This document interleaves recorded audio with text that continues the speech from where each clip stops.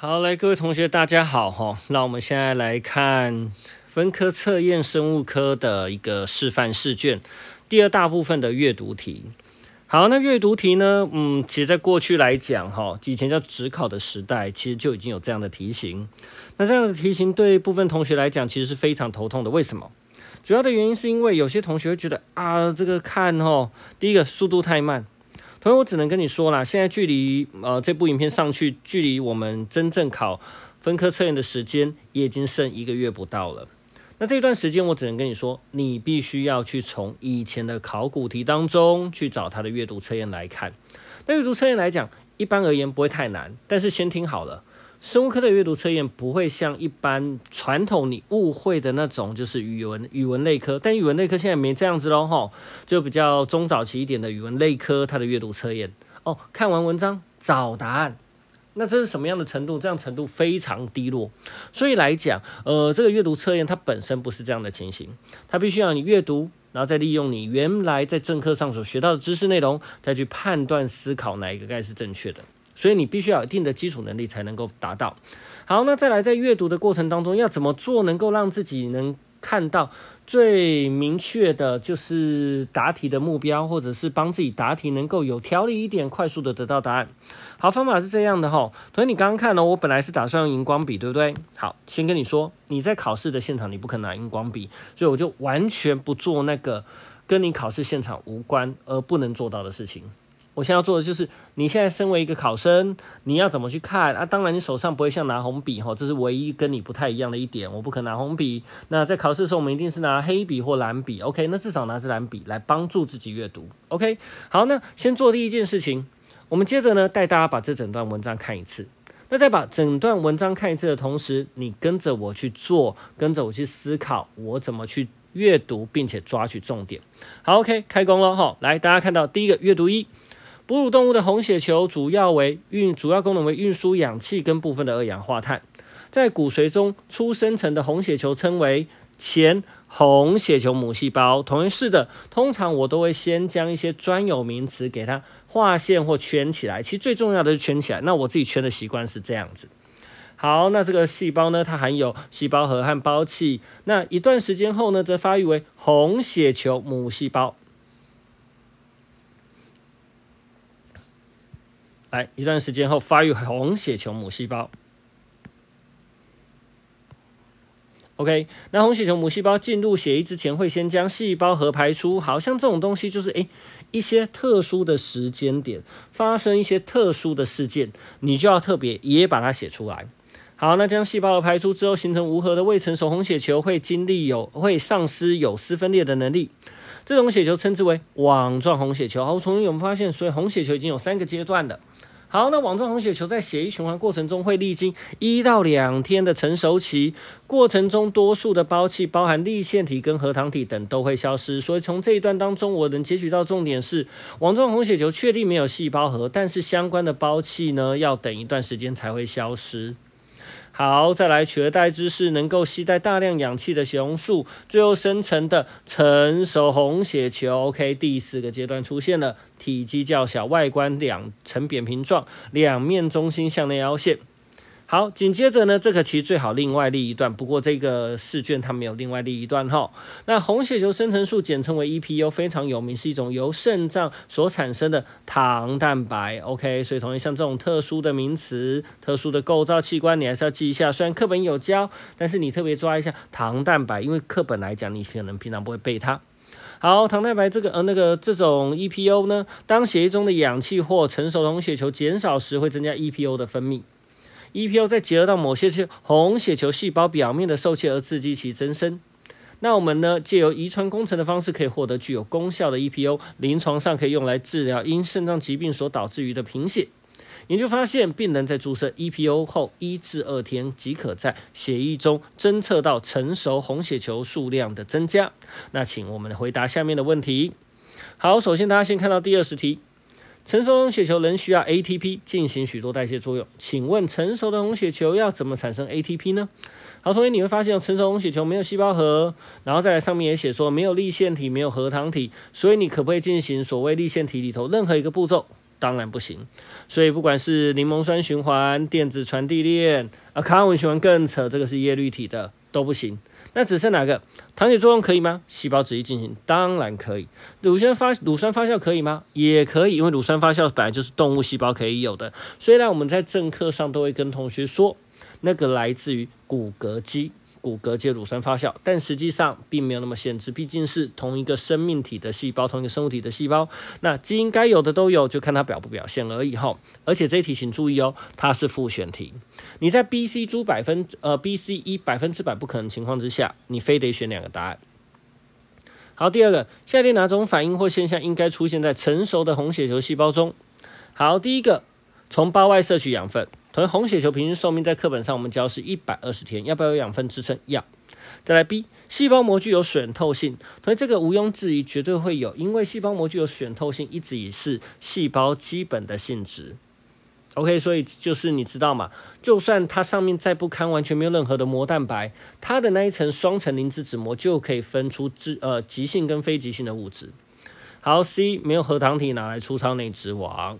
好，再来，呃，氧分压增加而提高血红素的含量，同学没有？氧分压如果增加，代表你今天呢结合的百分比会很高，运输的氧气量几乎就是百分之百雄素都接上去了，所以因此不会提高，反而降低，说不定还可以哈。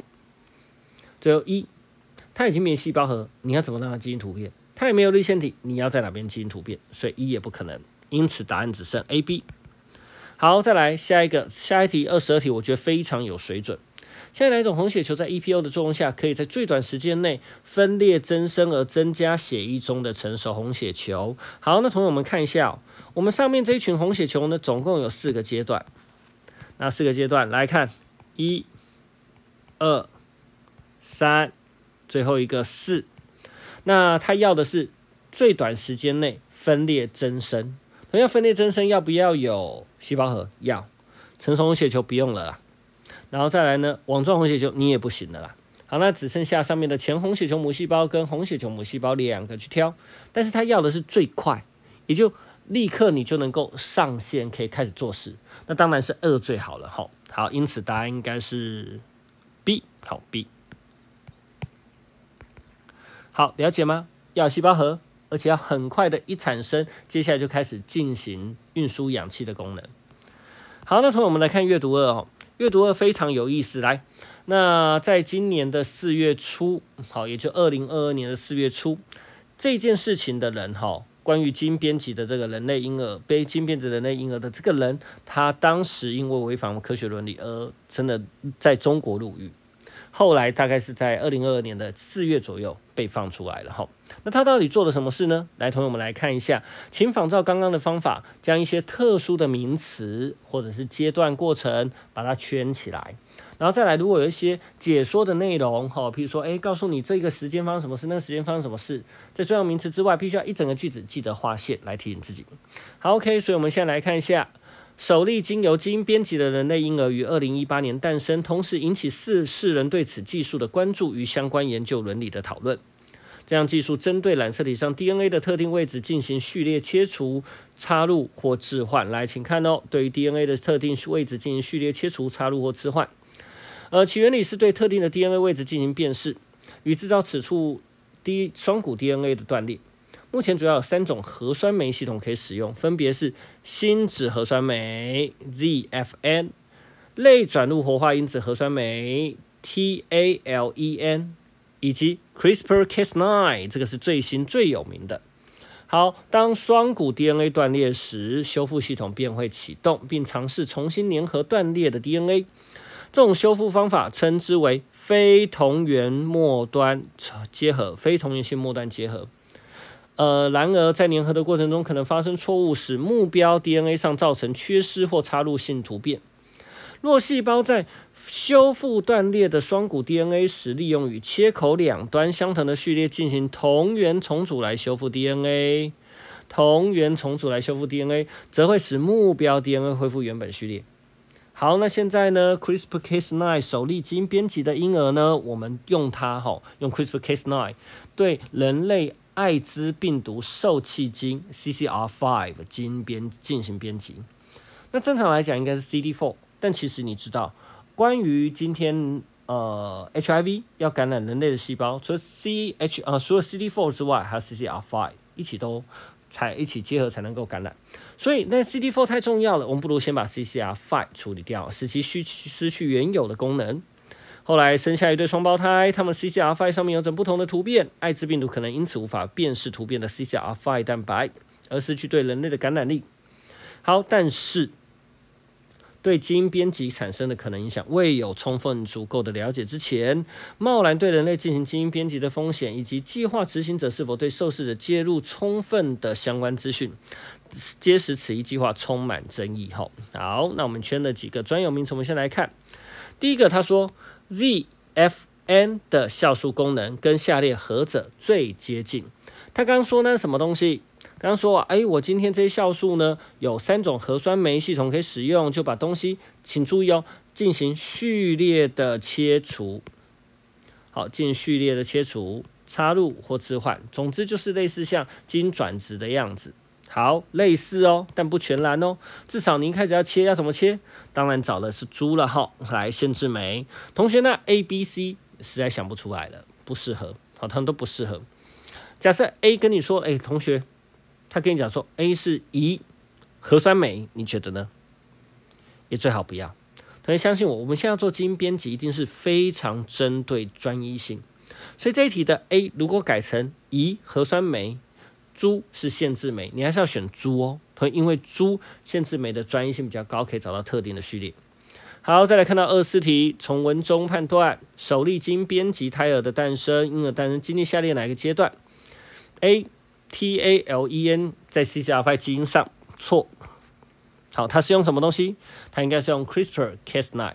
好，但是请注意哦，它的 CRISPR-Cas9。在 CCR5 的基因上制造单股的 DNA 断裂，同样没有它。如果要切下来，它一定要两端都切开。哈，好，所以 B 也错。好，再看到 C，以非同源性末端结合进行 DNA 修复。来，同学看一下，真的是如此吗？请你看哦，诶，没有错。你这个非同源性的部分，它就可能发生错误。但是如果你是用所谓的同源，好，同源重组来修复 DNA，再往下两行。那就会恢复到原本的序列，或者是说，呃，更进一步讲，应该是所谓同源重组，就是你给它一段你想要变成的那个序列的样子。讲实在话，也不见得是原来的。比如说，你希望这个基因改变成某个样子啊，你也可以给它一个特定序列，它就修成你想要的那个样子。啊，只是非同源的意思是说，你没给他任何的参考，没有人长得跟他很像或一样或类似，所以他只好自己乱修啊。乱修的结果就是完完蛋了，就造成突变。好，所以正确答案这一题可能应该哦，应该是 C。好，那猪不可能的啦。哈，同源重组的话，它就修补成一些特定的形式。我现在只是要把 CCR5 弄坏。好，再看到二十五题，那下列哪些是基因编辑婴儿对人类族群的可能风险？第一个 A。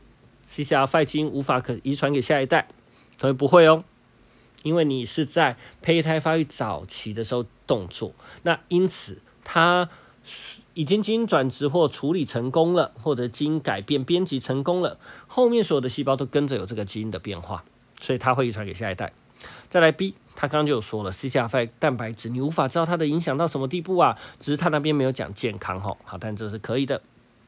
好再 C，基因编辑技术呢，必定造成后代染色体异常，同学请小心。有人说老师对啊，它造成，哎，是基因对不对？是染色体吗？不是，同学它染色体恐怕还是正常的哦，只是里头 DNA 序列有问题。啊，有人说这两个不能相提并论吗？同学你想一下一件事情，假设有一个人是镰刀型血球贫血患者，他的基因也真的突变掉，但他染色体呢，跟你我一样还是二三对哦。OK，好，所以 C 我不觉得它可以。好，再来看到猪基因编辑后的 CCR5 基因呢，转译出的新功能的 CCR5 蛋白，对，有可能有新功新功能，而新功能我不知道会有什么问题。好，再来看到一，除了 CCR5 基因 DNA 呃蓝色体 DNA 上上有其他可以被核酸酶系统处理辨识的序列，因而，在非目标 DNA 上造成突变，对，这也是有可能的。你那个序列就算是再专一。可是也有别人可能会，别人会有类似的。OK，所以这一题答案是 B 猪一。好，接着我们看到阅读三。好，从阅读三，请看水稻是亚洲人的主要粮食作物。将野生稻跟杂交呃栽培稻杂交时，常会造成无法产生后代的杂交不忍现象。所以，什么叫做忍？忍的意思是吼，今天就是比如说稻米呀、小麦呀这些，就是类似禾本科的这种农作物，它成熟的时候，好，也就是它可不可以结种子？它恐怕就不结种子。诶，那为什么会这样呢？这样的遗传障碍会妨碍野生稻中有利的基因。导入栽培稻中，为了了解并呃了解这种妨碍基因转折屏障，最新的报告指出，野生稻跟栽培稻之间的杂交不能，主要由一个叫做数量性状基因做所决定。好，来，那这边顺便提一下，有一点延伸的部分，有些人呢念一念，你会念到普生那边去，哎。开始这这一题就有怀疑了，老师那个不是 S 基因造成的吗？吼，什么自交不亲和，这个就是一个念普通生物学很严重的一个问题。等普生没有错，圣林老师有补充，他也没有错。错的是，当我们自己在念书的时候，随意的把任何概念搞混，那就是我们的错了。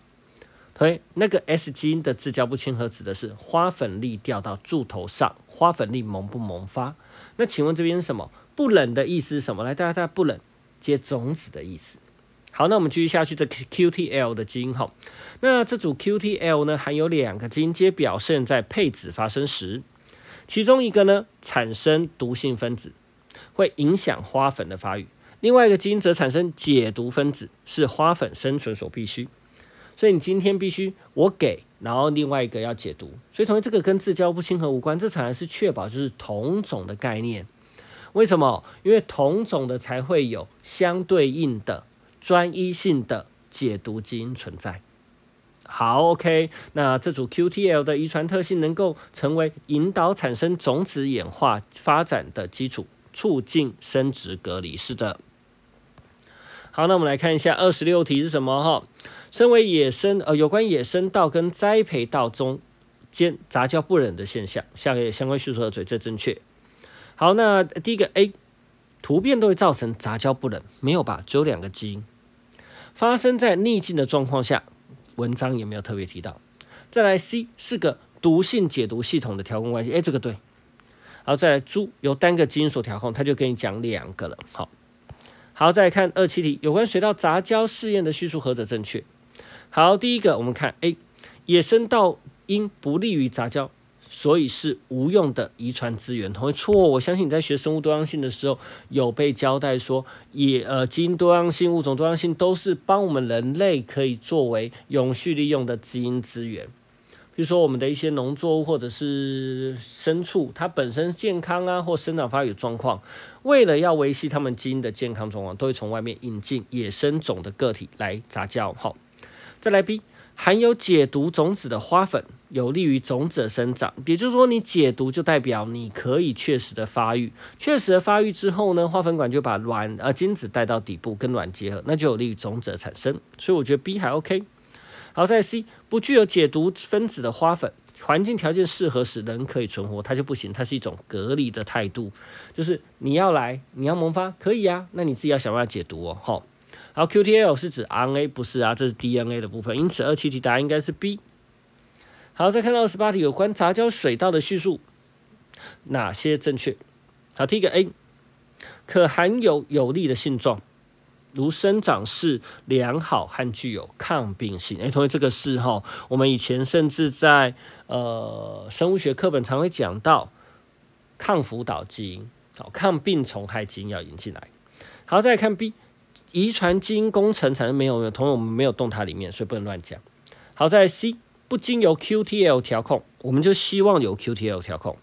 再来猪具有逆境下生长竞争的优势，诶，生长竞争优势对，因为杂交水稻呢，它本身就是把一些呃可能因为人类驯化的那些水稻消失的基因给它带回来，那那经常是针对野外一些恶劣环境，所以猪我是觉得正确了。再来看一，又由单个基因所遗传所产生。推这一题有点偷偷懒哦。二十八题的一跟二十六题的猪选项是类似的。OK，那阅读题我们就暂且讲解到这边。